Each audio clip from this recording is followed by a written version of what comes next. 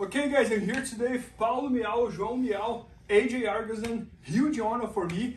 Guys, uh, Paulo and João just shot an entire structure all about the berimbolo. I think anytime in Jiu-Jitsu you think about berimbolo, those two guys comes in mind.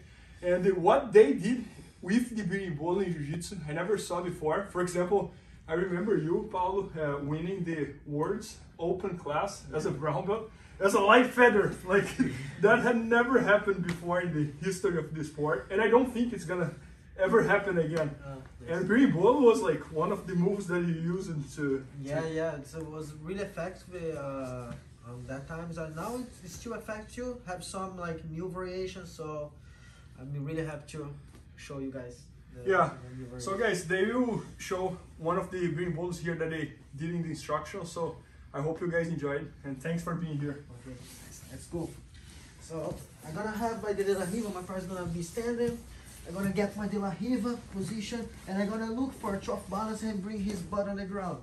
Okay, one way to do that, I'm gonna try to stretch, on my elbow and use my toes on my opponent's stomach to bring his butt on the ground, just like so. Now I'm gonna keep holding his collar and I'm gonna start spin under him to get my deep De La Riva hook and my shin right around his stomach. This way, right? Now I need to control his far leg. I'm gonna move my hand to this ankle, to the pants, to his far pants. Now I just need to start stretching forward and I'm gonna looking for to bring my thigh right over his stomach. So I go this way here. Oh. Once I do that, I'm gonna expose a little bit his back and look for to get my grip right behind his neck.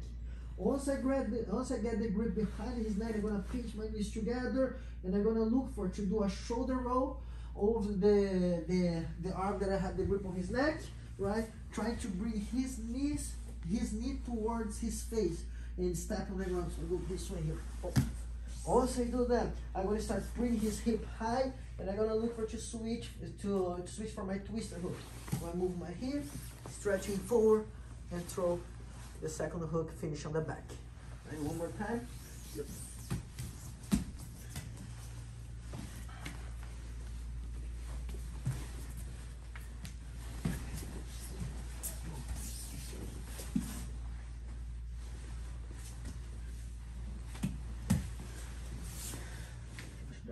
Oh, Paul, it's crazy how much heavier I am than you.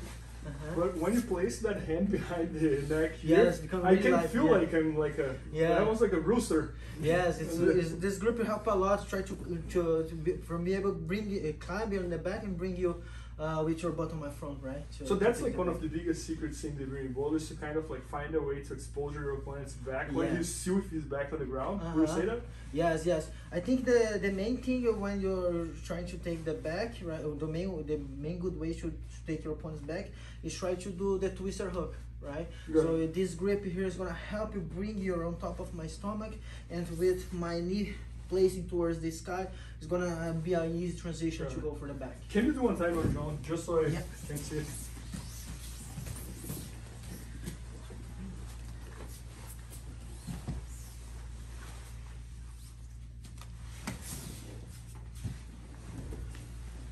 This way, so I bring my knees towards the sky, right? This is gonna help his hip come on my stomach, right? And then I just need to push a little bit more and do the transition for the twister hook. You got it. Oh, that's crazy. And you were like, I mean, like, you were one of the only guys in the world who was able to take the berimbolo and apply like on open classes against people from all different weight divisions and the. Yes, uh, so. to be to be honest, uh, I feel the guys, uh, on heavier guys, underestimate a lot of the berimbolo, and then and they end up like going to the foot because they they feel I'm small and they're weaker than them.